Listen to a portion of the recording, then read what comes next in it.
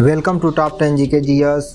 दोस्तों, आज के इस वीडियो में प्रतियोगी परीक्षाओं में बार बार पूछे जाने वाले क्वेश्चनों को बताया जाएगा तो वीडियो को ध्यानपूर्वक देखते रहिए। पहला क्वेश्चन है, महात्मा गांधी का जन्म कब हुआ? तो इनका जन्म हुआ था अठारह सौ उनहत्तर ईस्वी में। भारत की प्रथम महिला प्रधानमंत्री कौन है? तो ये है श्रीमती इंदिरा गांधी।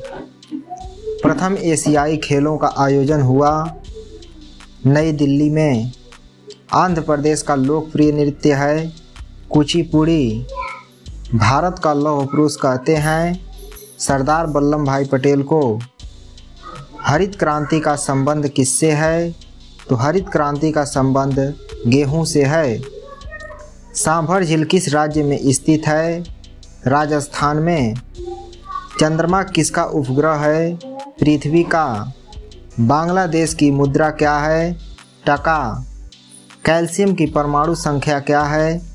ट्वेंटी। नोबेल पुरस्कार कितने क्षेत्रों में दिया जाता है? छः श्रीनगर किस नदी के किनारे है?